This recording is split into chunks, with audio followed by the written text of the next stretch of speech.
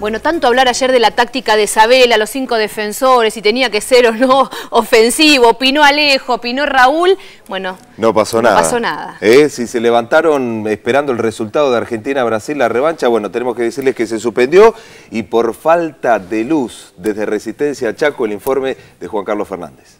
condiciones no es posible jugar, me dicen los jugadores, los arqueros fundamentalmente. El fútbol que no pudo ser. En cancha la selección de Isabela. Enfrente Neymar.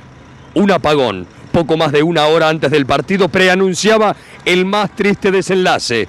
Y tras los himnos, Tres Torres perdieron completamente su encendido.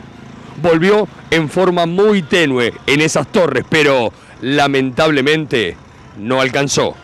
Ellos vinieron a atacar, nosotros también, teníamos ganas de, de jugar, la gente se quedó con ganas de ver a Argentina-Brasil, que lo, lo más importante es que nosotros mañana ya nos reintegramos nuestro equipo para jugar el fin de semana, damos vuelta a la página, pero la gente seguramente tenía la, gana de ver Argentina-Brasil y no, no se pudo. Bronca, bronca porque todos teníamos muchas ganas de jugar y sabíamos que, estábamos bien para, hacerlo. Y es una lástima, es una lástima porque eh, venir a jugar un partido de esta magnitud, eh, Brasil, eh, Argentina, creo que eh, todo el mundo quiere ver este partido y se hace incluso en el interior para que todos tengan la posibilidad de este partido. Y hoy lamentablemente no, bueno, nos quedamos todos con esa gana, tanto nosotros como futbolistas como ellos como espectadores. O sea, esperábamos que se prendan dos o tres focos de la columna del medio y, te digo la verdad, lo, jugábamos. Porque parecía que lo que había pasado que cuando se apagaron las columnas, las luces que quedaban prendidas encandilaban mucho.